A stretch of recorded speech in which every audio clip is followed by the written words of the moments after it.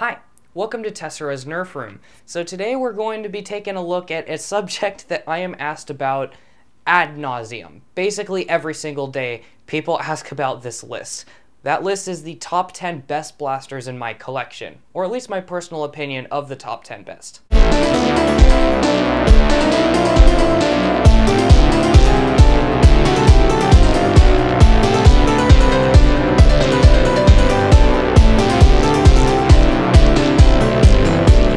I should probably give a little bit of background as to why this list is so difficult to make, and it simply comes down to the fact that Nerf blasters fit into tons upon tons of categories, and classifying one as the best means that every single other category is basically made useless.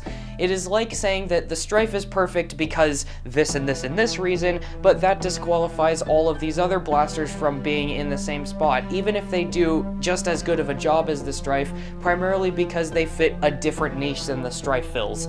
So it's, it's really all over the place. And I am not just counting Nerf branded blasters in this video, I'm going all out and including everything that I own, which is partially why this video has taken me so long to make, because sorting through all these blasters to find my 10 absolute favorites that I would pick over everything else was quite a doozy. Custom mods don't really count because those are my personal creations, I'm mainly judging these blasters as they came out of the box. And obviously some various picks on this list are going to be hot takes just because I have my own opinion. It differs from most other people's opinions, and you guys just gotta understand that. With that said, let's get started with an honorable mention and our honorable mention goes to this ungodly contraption. This almost made the list, but I didn't put it on the list for a couple reasons, mainly just because of how difficult this blaster actually is to get your hands on. Yeah, it's obviously really expensive due to just how massive it is, but also you can't even get it through Amazon or even through any conventional website. You have to go to like the Bungie official website and then order yours custom, and it takes forever for it to ship and then actually arrive at your house, and it's just like, it is an absolute colossal pain to actually get one of these, even if you do have the $200 that they are charging for it out of the box. God forbid you actually pre-ordered it it, it's just, I don't know. This blaster almost made the list, but the difficulty of getting your hands on it and the fact that it appeals to such a slim portion of the Nerf community, I just didn't see a way to fit it on the list. But it is an honorable mention because if it weren't for those couple things, this thing definitely would have probably made the number 10 spot. Not because it's good, but just Dear God, look at this thing. You don't see this more than once. But with that said, our number 10 spot goes to the Nerf Infinis. This is a blaster that was very revolutionary when it came out, and in my opinion, is still very revolutionary to this day.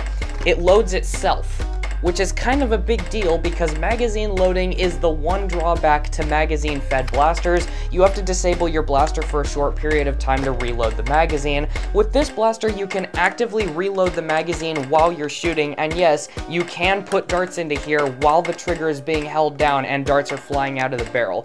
It is a brilliant mechanism that works almost flawlessly. It is virtually impossible to jam this thing unless you actively like try to shove five or six darts in here at the exact same time. Then obviously, yeah, it's going to clog up because that space is only designed for one dart. But even then, they've come up with this funnel system to keep only one dart going in at a time, so it manages to unjam itself after a few seconds. This is a super well-made blaster when it comes to the gimmick, but that's basically it. The actual blaster part of the blaster isn't the best. I would prefer a Rapid Strike because the Rapid Strike has slightly better ergonomics, a slightly better design in my opinion, and just a slightly better everything else, including putting the magazine in and taking the magazine out. It's pretty rough. The rate of fire is pretty rough. There aren't very many tactical points on it. You got a barrel attachment and two rails, but that's basically it. And the stock is just a little bit too short. I feel like the stock could have been longer. If the stock was a little bit longer and the grip was a little bit better, then chances are this would have probably made it further down the list.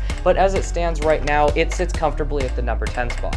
At the number 9 spot, we've got the Mega Roto Fury. This is the best Mega Blaster I think has ever come out. I don't think there's any Mega Blaster or Mega XL Blaster that is better than the Roto Fury for a vast multitude of reasons. The ergonomics, the usability, the appearance, the smoothness of operation. Oh, it feels great. It feels powerful. It shoots hard. It has a good capacity. It just works incredibly well. And it's got slam fire. There is really nothing to hate about the Roto Fury, even if it doesn't have a stock, which is like the one thing I would have added is a stock attachment point right here to put a stock on it, but there are no Mega Blasters that have stock attachment points, so I understand why they didn't put it on this one. They're not going to make one exception for one random Mega Blaster, except for when they did it with the Mega XL Boom Dozer all the way at the end of Mega's runtime, which just makes me wonder why did they only do it on that one and none of the other Mega Blasters? But honestly, I think if you look at one Mega Blaster and one Mega Blaster only to have in your collection, it would probably be the Roto Fury just because it is so good and done well in so many different ways. I honestly can't find any complaints with it outside of the fact that rotating the cylinder, it feels painful. It doesn't like rotating, which sucks because everything else about this blaster is fantastic. Coming in at the number 8 spot is the Buzzbee Spin Shot, a relatively new blaster, especially because it literally came out this year, and quickly one of the funnest things to ever grace my whole collection. This blaster is the first blaster Buzzbee has made where I actively said, wow, this is on par with some of the stuff that Nerf has made. The plastic quality feels way thicker than what Buzzbee has put out before. The ergonomics are heavenly. Both the main grip and the foregrip are massive and super comfortable. It works very, very good, and it offers a brand new, interesting gimmick that's never been seen before and does it super well. If you've ever wanted a portable Nerf skate shooter, well, I'd say this is your best bet. I don't think it's good at being a blaster per se because the projectiles are made of plastic, they don't have foam on them, and they do hurt if they hit you because they're spinning like razor blades. However, as a portable target shooter that launches skate discs out of the sky and shoots them pretty slow like Vortex discs do, where you can actively shoot them out of the sky with higher power Nerf blasters, this thing is amazing. It is super cool and interesting, and I just had to include it on the top 10 list because I can't get enough out of it. This is genuinely my favorite blaster that Buzzbee has ever put out. At number 7 is the Rival Helios. This is the best Rival Springer that I own, hands down. I love everything about this blaster. The ergonomics, the appearance, the prime smoothness, Ah, it's so good. It's so responsive. It shoots just as hard as the Apollo does, so basically like peak rival performance, but it's done everything better than the Apollo did. A true upgrade in every single way over the Apollo with a very, very nice looking design. I love the Helios so much. The Helios and the Hera, I think, are the two best blasters that came out of Rival, just like right up next to the Prometheus. Somehow they came out in the exact same year as the rival Hades. We don't need to talk about that again. But I honestly would take the Helios over any other rival Springer, period. It's just, oh, it's so good. Let's move on to number six. At number six, we've got the Nerf Moto Blitz, the most CQB Raven reskin I've ever seen in my life. Look at how thin this thing is. It is super thin, and I think that this was a worthy Raven reskin in the Elite 2.0 series. Not only is the ergonomics and general ease of use very good, but it comes with one of the coolest gimmicks I've seen in a long time.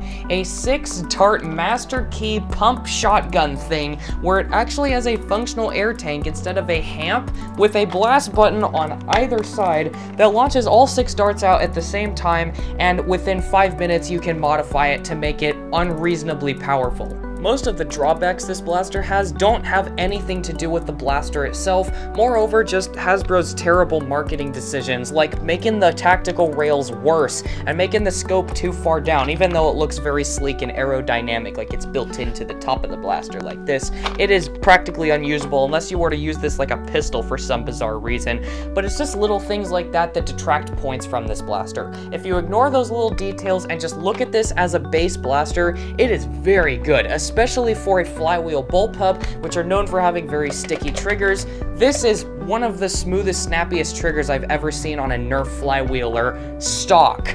At my number 5 spot, we've got the Doomlands Persuader. This is the best 4-shot Smart AR pistol I've ever used. I don't like 4-shot Smart AR pistols, and this is the first time I've genuinely had fun with a 4-shot Smart AR pistol. The only thing that it really has against it is the ergonomics. This grip is not very good. But with that said, the only like four shot smart AR pistol that had a somewhat decent grip is the quad fire, and I will not be caught dead using that thing in a Nerf war. I would gladly run this in a Nerf war as my sidearm. It is very nice looking, it's hammer action, it's got great performance shooting right on the 70 FPS par out of the box for a tiny nugget-shaped pistol and I genuinely love this blaster way more than I reasonably should. Traditionally, this spot would go to the hammer shot, but I don't know. I have just had a lot of fun with the Persuader, and I think that this is the peak of four-shot Smart AR pistols, and really the only one that Nerf actually did right. At the number four spot, we've got the Zuru Ragefire, the only time I have ever said this is a heavy gunner blaster that you can use effectively as a primary no matter what your loadout is and I stand by that decision to say that to this very day. This thing is absolutely amazing. Not only is the performance incredibly good and the rate of fire incredibly fast for a stock like Nerf class flywheeler, but it just looks so cool. It's comfortable, it's interesting, it's unique, it's affordable, it's massable, and it looks really good for being a heavy gunner blaster and works very well for being a heavy gunner blaster. This is what the Titan CS50 wanted to be. I'm sorry, you just aren't worth $100. You're not worth $400 either. This is definitely worth 50 and I would honestly pay $100 for this. I'm sorry. At number three, we've got the Nerf Rapid Strike. This is a timeless blaster that even though mine isn't really doing too well today, it is just... Mwah, a masterpiece. It is the coolest fully automatic blaster ever created. It literally looks like a machine gun. It is super comfortable. The stock is a perfect length. The foregrip, while kind of being non-existent, is also very comfortable because you can easily just hold this front part right here. It takes mags. It's got a somewhat decent rate of fire out of the box. The triggers are very well made, except for the main trigger. For some reason, it's really smushy. I don't know. I really like the Rapid Strike. It's hard to find ways to complain about this thing without actively going out of your way to look for things to complain about. It's supposed to look like it's all old and busted up. That was kind of the design that I was going for with this blaster, and I think that it works. Overall, I just... I don't know, there's not much to say here that hasn't already been said a million times by every review of this blaster on the face of the earth. The blaster is incredible. The blaster is the Rapid Strike. Now there's only two left, and a lot of blasters that you guys probably expected to be on this video didn't even make the list, and I will explain why afterwards. At number two was the Worker Harrier, and I was really debating whether or not I even wanted to put this blaster on the list because of how much feedback this thing gets, both in the positives and in the negatives, no matter what you say about it. There are people who absolutely love this blaster for the idea that it is a new revolution in the world of pump action springers. It is very nice, it is very comfortable, it's very well made, and it's just very cool looking. At the same time, there are people on the other side who really hate this thing because it's just another pump action springer and and you can't mod this one because it's already perfect out of the box, which is a notion that I heavily disagree with. When it comes to modding blasters, it doesn't just comes down to performance or having the biggest spring. It comes down to what do you want your ergo to be like? What do you want it to look like? What do you want to have on the blaster? What do you want the barrel to be like? What do you want the stock to feel like? And this blaster has all of those things interchangeable like a Rubik's Cube or like a Lego set. It is truly one of the easiest blasters to mod out there and one of the funnest blasters to mod out there because everything just works. Not to mention the base blaster out of the box is super cool.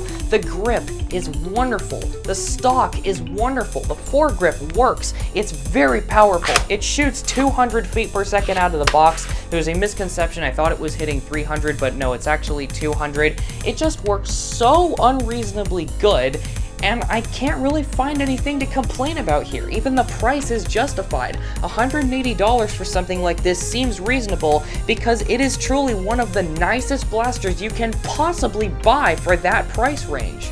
I love this thing so much that I often just load up magazines and sit on the couch while watching TV, turn to the side, and shoot this at targets over here for no reason, just because I feel like it and just because it's fun. There are very, very few blasters I like doing that with because usually like using them, there's something annoying about them. Not this one. There is nothing annoying to me about using this. And yet there is one that I like more than this blaster. You could probably guess what it is. At number one is the... no, this joke will never get old. this joke will never get old. At number one is the Nerf Double Punch. This is the best blaster I have ever used in my life. It is super comfortable. It is super light and easy to whip around corners. It is super nice. The, like it feels premium. It feels like an N-Strike product. It loads from two magazines. It the trigger is so smooth. It shoots so fast that you can outperform the Hyperfire with its rate of fire. Especially if you were to rewire this thing for a LiPo, you could get the fastest semi-automatic flywheel blaster imaginable on the planet right here for $35 and it appeals to everybody. Whether you're a performance guy, a casual nerfer, or somebody who likes gimmicks, this fills every single niche that you could possibly imagine in terms of the nerfing field, even the heavy gunner niche in some capacity, because it mimics the Rhino Fire with the, the, the barrel things. That's something that you would expect to see on a big heavy gunner blaster, and yet this is simultaneously a heavy gunner blaster and a super compact CQB primary.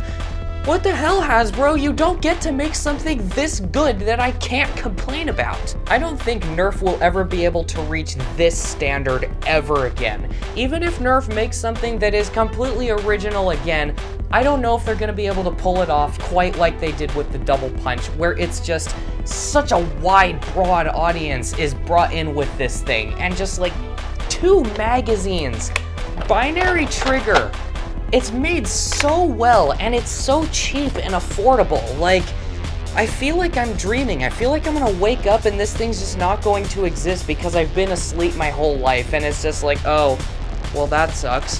The double punch isn't real. Now, I'm going to address the elephant in the room.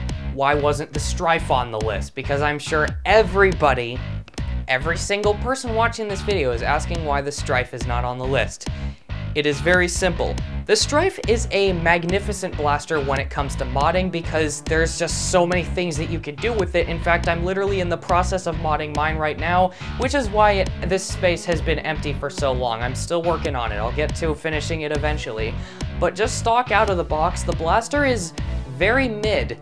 It doesn't shoot that well, it doesn't shoot that hard, it's comfortable, but the locks are super annoying, it's very slow to rev up, it's just a mediocre flywheel blaster, and the only thing it really has going for it is the abundance of attachments and how small and compact it is. And as I said at the very start of this video, I am judging these blasters as they are stock out of the box with no modifications. I love the Strife, believe me, I really, really do.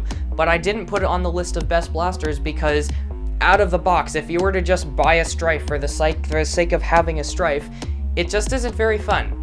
It is just a blaster and that's just what I think about it. So, with that said, feel free to leave your list in the comment section below. Also, yes, the Max Dictator wasn't on this list either, and that is because when you put Talon mags in it, it, it holds them a little bit too tight and it doesn't mag drop them. But it doesn't really matter. Post your list in the comments. Thanks for watching. Bye.